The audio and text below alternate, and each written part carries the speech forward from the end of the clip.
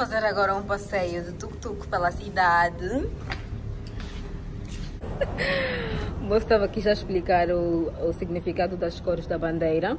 O verde, que é as florestas, o vermelho, que é o sangue derramado, uh, o amarelo significa o ouro, que é o cacau ouro, né? o cacau e assim. E tem preto, infelizmente aqui no meu vestido não tem preto, mas a bandeira deles leva um pretinho. Sim, o preto que significa as duas ilhas e o luto e coisas assim.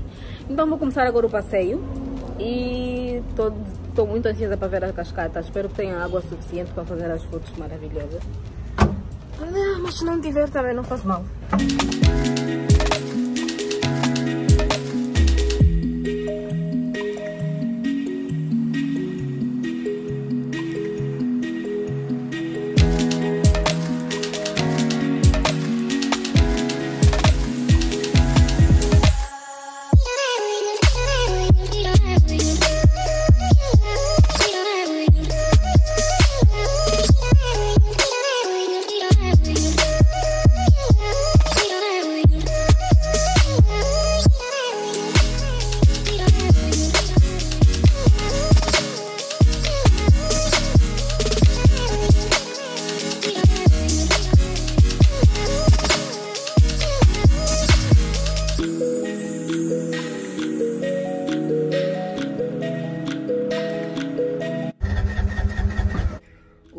Tá com problemas, meu Deus. E, e, aqui é no meio do nada, muito mato, muita selva. Eu tô com medo, meu Deus. Não sei o que vai acontecer. Isso é muito karma na vida da pessoa.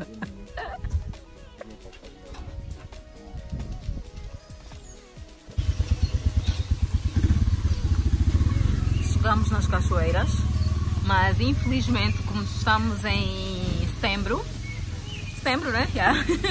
Não tem água, infelizmente, não tem água nas cachoeiras. Que triste. Enfim, agora vocês já sabem que nas cachoeiras tens de vir uh, outubro, novembro, os meses mesmo da chuva intensa.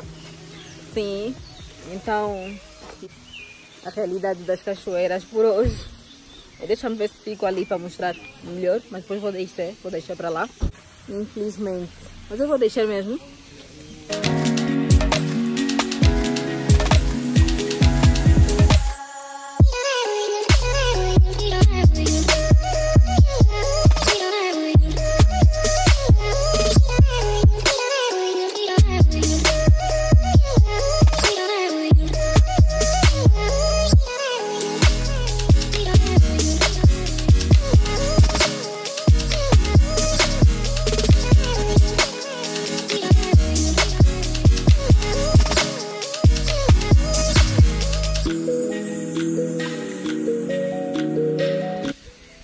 Aventureira que sou,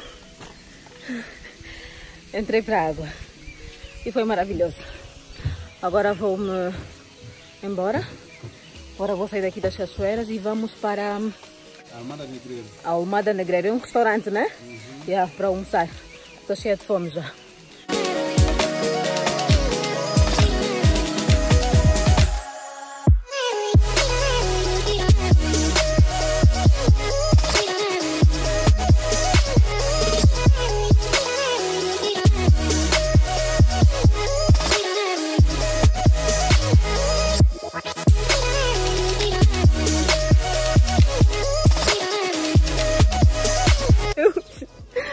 A sério, eu gostaria não ter essa sensação pelos gatos, mas eu tenho.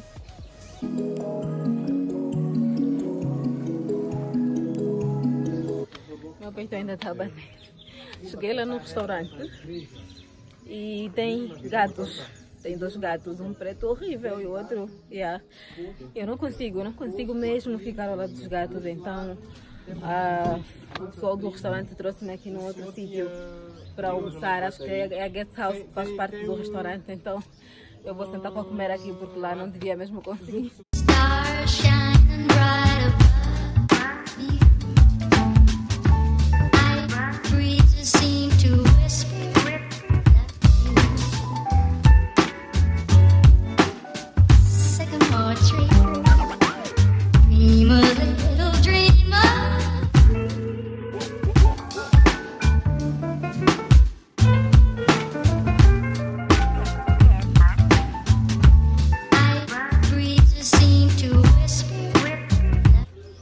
Acabei de almoçar e vou descer para a cidade agora.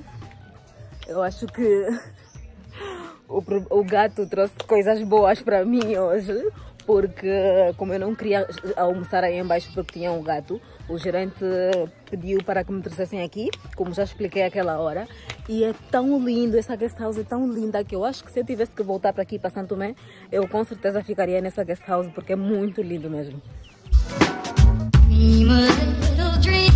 Ofereceram uma, aqui uma, uma, uma rosa. Uau, estou ganhando muitas rosas. Essa é de. É ginger. Ginger, né? Sim. Parece de porcelana, né? Sim, parece de porcelana. Uau, muito linda. Muito obrigada.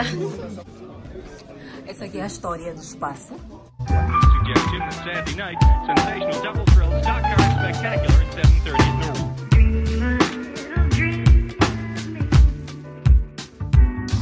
Seja bem-vindo à Roça Saudade. Muito obrigada. Eu chamo-me de Mola, okay. sou funcionário aqui do espaço. Ok. Esta roça foi a antiga roça que onde o pai do Amada foi administrador. Ok. E o pai foi o Antônio Lobo do Amada e a mãe a Dona Elvira Freire Sobral. Uhum. A Dona Elvira é filha de uma angolana e de um português, mas que acabou por nascer aqui em Santo Tomé. Ok, ok. E Almada Negreiro nasceu nesta roça em 7 de abril de 1893. Uau! Depois da idade dos anos, a mãe ia dar luz ao terceiro menino e acaba por falecer no parto. Oh. E daí que surge a partida do Amada para Cascais, uhum. que é onde ele passou a vir na casa do tio e avós paternos. Okay. E ele nunca mais regressou ao país de Santo Tomé. Oh. Deixam mesmo muito atenciosos. Muito obrigado. muito obrigada eu. Ai, amei essa rosa, sério. Parece a nossa de porcelana, mas ela é tão cute. Olha só esse formato. Sério, aqui é muito lindo. Vocês têm, vocês têm que visitar esse espaço. Muito, muito lindo. Right above me.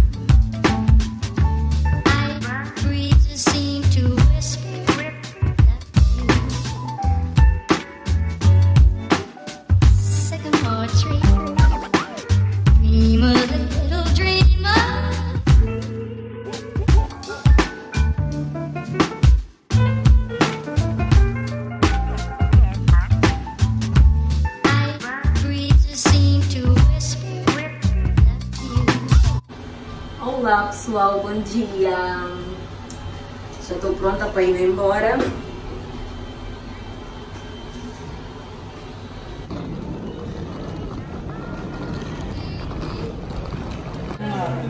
Olá!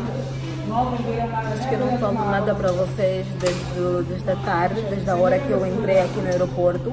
Entretanto, eram 12 horas e agora são 18 horas e ainda estou aqui porque hum, é uma daquelas coisas que eu costumo vos dizer que acontece-me sempre um perrengue nas viagens e ah, nessa não tinha de ser diferente. Entretanto, a TAG decidiu me aprontar